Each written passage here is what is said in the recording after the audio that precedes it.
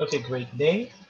Uh, today I'll be discussing how to use pivot table or pivot table in organizing your quantitative research data. So uh, here with us is an example of a data extracted or exported from a Google, okay, from a Google Sheet. So as you can see here, we have our independent variables or the characteristics of the respondents in terms of sex, grade level, and strand. And the QS here, okay, and the QS here are those questions, okay, are the questions that is inside in, that is inside of the survey.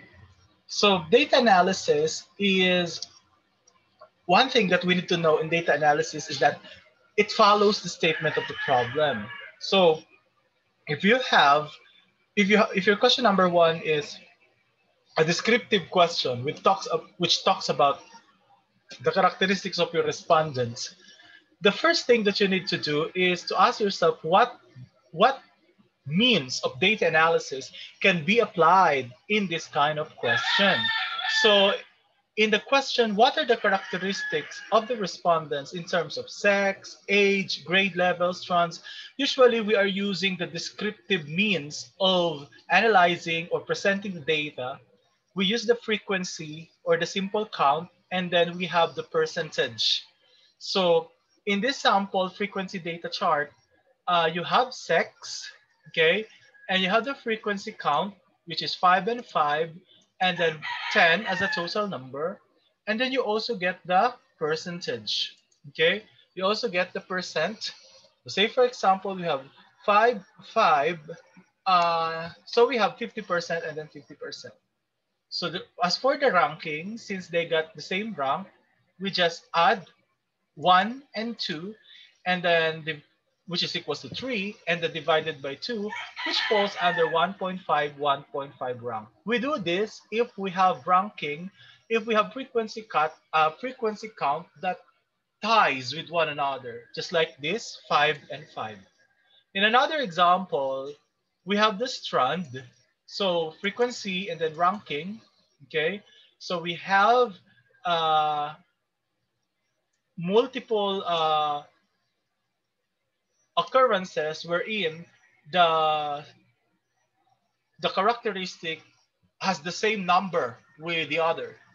So here we have 5, 5, 3, 5, 3, and then 2. And then same procedure applies. You just count it uh, continuously, those that has the same frequency number, and then divide it how many times, or divide it onto how many occurrences. So that will be the ranking. But how can you create a table? How can you create a table out from this? Say, for example, you have 100 data, and then you need to count how many male, how many female. So if you have with you uh, Microsoft Excel, you can all you can easily use the pivot or the pivot table application or the pivot or pivot table uh, command, which in which is under insert. Okay, so here in the ribbon above, we have home, insert, page layout, etc. You just need to click the insert ribbon and then click the pivot table. Okay, again, insert, click insert, and then pivot table. So click pivot table, and then it will ask you to highlight the necessary data. The necessary data starts from uh, the label, okay, going to the last label, going down to the last respond or the, the last response. Now, the next question to ask is choose where you want the pivot table report to be placed. Uh, as for me, I would like to, to have it in a new worksheet and then click OK. So it will now appear it will now appear on the next table. So what to do? So if you want to have a summary of your, a summary of your data for uh, sex, say for example, you will see that there is a command or a column here which says pivot table fields, pivot or pivot table fields. So we have here sex, and then you have the areas such as filters, columns, rows, and values. So simply follow these instructions. Number one, drag sex to rows. Drag sex to rows. And then you will now see that uh, the options, which is female and male, will appear on the Excel sheet. And then once again, drag sex to values. Drag sex to values. And then you will now see the count of sex. So there are 12 female and 9 male in the data sheet. We want to get now the percentage. You just drag again sex to values. And then right click on the third column label. Right click on the third column label. Again, right click on the third column label. And then please hit show values as. Show values as. And then click percent of grand total. Percent of grand total. And then you will have the percentage. So you can now uh, copy, okay? You can now copy it to another table so that you can create another pivot table. Okay? So, before we skip table number one or before we go to table number two, let's change the label. You can now change it with sex. And then here you can write frequency. And you can write here percent. Jaran! Then you have your first pivot table. Now, let us continue. On the second pivot table exercise, let us have the grade level. So you just need to uncheck sex, uncheck. And then insert grade level in the row. And then insert again grade level in the values. And then insert another column in the values for grade level. As you can see, we don't need the sum. We don't need the sum. Probably uh, the Excel look, uh, the, the Excel process it as a number uh, because in the choices in the spreadsheet, it says 11, 12, 11, 12, 11, 12. So Excel might process it as a number to be uh, add rather than to count. So what we will be doing is here in the second column, you will right click sum of grade level you will right click sum of grade level and then click summarize values by. Summarize values by and then click count. And then it will appear now the count level. Now, if in your if in your work it does not show sum but it's already count, don't change it anymore. We need the count we need the count for that second column. So however, if by chance, what appeared to you is a sum, right click on it, right click on it, okay? And then click summarize values by. Again, for second column, to get the count instead of sum, you will check you will right click, then uh, summarize values by. Then summarize, then summarize values by. And then you will click count. Okay. Now, here in the third column, we need to get the percentage. So again, right click and then show values as and then percent of grand total. third column, to get percent of grand total, right click on show values as then click percent sorry then click percent of grand total. So you will you are you you have now two tables okay? You have now two tables. So you can simply change this. You can simply change this in what? As grade level then frequency and then percent. Now you can now create a chapter 4 out from this. Because technically speaking, these tables you are creating is, a, is preparation for chapter 4, which is the presentation and analysis of data. This is very, very important because the chapter 4 creates, uh, or should I say, answers all the questions that you have prepared in the statement of the problem.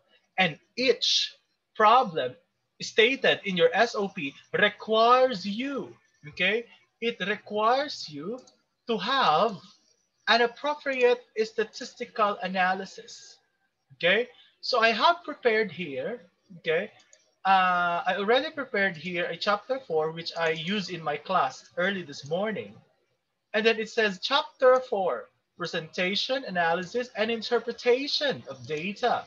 This chapter represent this chapter presents the data collected in a manner provided by the research design. The interpretation of the data showcase the results of the statistical analysis that has been conducted from the data collected. Related literatures and studies were used to support the statistical results to strengthen the claim of the study. So in writing your chapter four, you need to start first with a question. Write your first SOP or write your first specific questions. Number one, what is the characteristic?